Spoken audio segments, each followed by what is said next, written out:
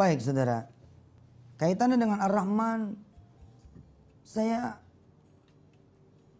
nggak apa ya, tidak bisa terkatakan oleh saya gitu loh bahwa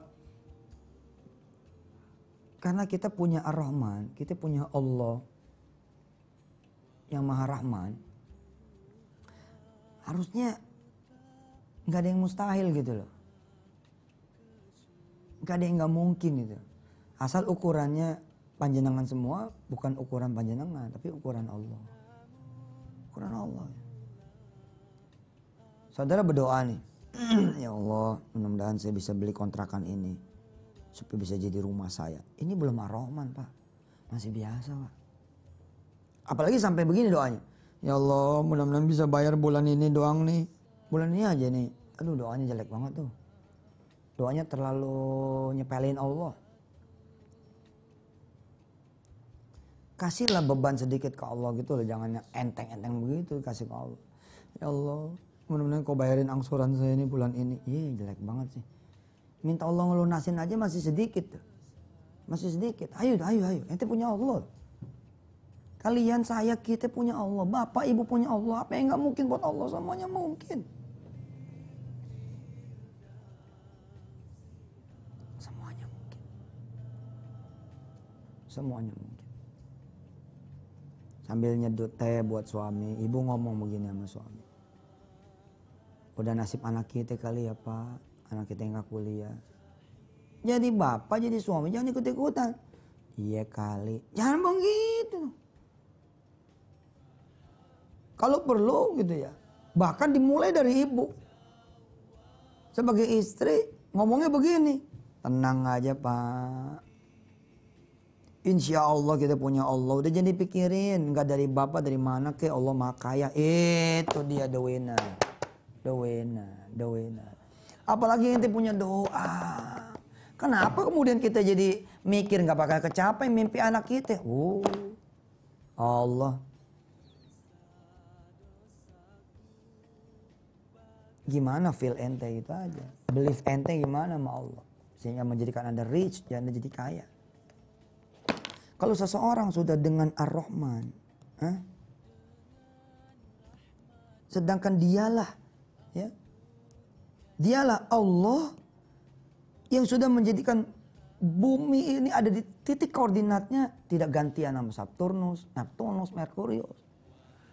Matahari dan bulan tidak saling susul menyusul disiplin wasyamsu tajri li mustaqarril dari ketakdirul azizil alim nggak ada kan ngomong begini kan bulan ri dia ngomong sama matahari ini. Ri.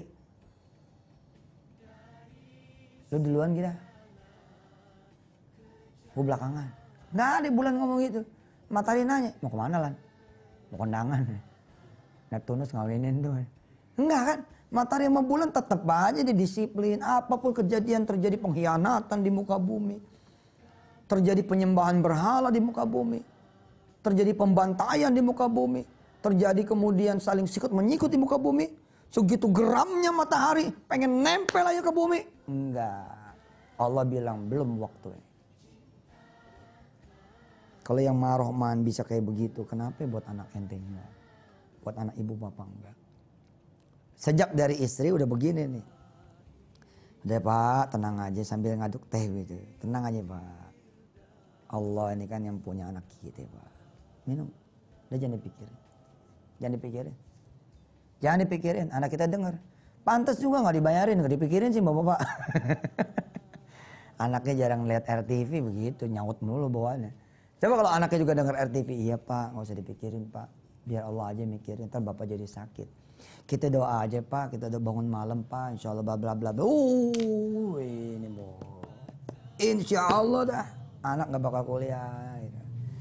Tiba-tiba Allah uji gitu sampai waktunya nggak kuliah. Terus ke mana Ar-Rahman? Ya Ji Ar-Rahman ente ukur. Nggak kau ukur Ar-Rahman ente hitung nggak kehitung. Udah doa tuh tetap aja anak aneh begitu begitu aja. Bos aduh dosa ente ngomongnya begitu. Kan perjalanan. Tiba-tiba di tahun ke-11 bos Hah? Nama ente ada di jajaran komisaris. Nama bapak dan ibu ada di jajaran komisaris. Nama Pak Haji Bu Haji ada di jajaran komisaris. Perusahaannya punya siapa? Punya anak ente itu di tahun ke-11. Hah? Tahun ke-11 loh. Apa artinya tahun ke-11? Kuliah itu kan 4 tahun. Betul gak? Berarti ada rentang waktu 7 tahun. Tahun ke-11 anak-anak yang pada kuliah jadi anak buah ente di sini. Yeay. Keren banget deh. Jangan mundur, jangan mundur. Jangan mundur. Saya dulu tuh nih saya tuh dulu punya utang 1,4 miliar. Terus saya ngitung. Oh, berarti kalau pakai teori sedekah, saya mesti sedekah nih 140 juta. Kan siapa yang sedekah satu dikali 10 kan? Kalau saya sedekah 140 juta, saya bisa dapat 1,4 miliar. Naik dan doa. Naik dan doa. Ya Allah, benar saya bisa sedekah 140 juta. Lama-lama saya ralat. Kecil amat gue doa. Kecil amat sih gue doa. Gitu. Lah, saya doa yang ini aja nih. Ngapain doa sama Allah supaya bisa sedekah 140 juta? Kita rubah doanya. Mudah-mudahan ya Allah, saya bisa sedekah di 1,4 miliar. Kejadian loh. Warahman. Dialah Allah yang maha rahman,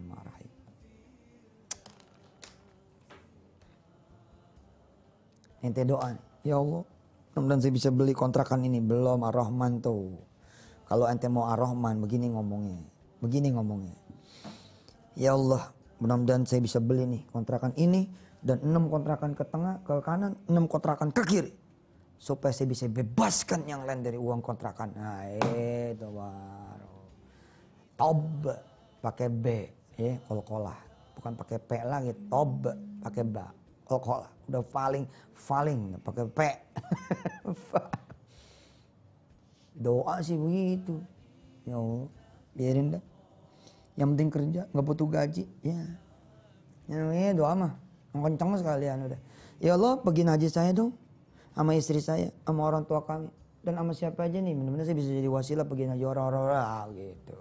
Ente punya ar-Rahman, you can do anything. Because why? Because kenapa? Because he can do anything. Karena Allah juga bisa melakukan semuanya. Wa anta wa ana, nahnu ibadur rahman. Kami, kita adalah hamba Allah yang maha rahman. Wassalamualaikum warahmatullahi wabarakatuh.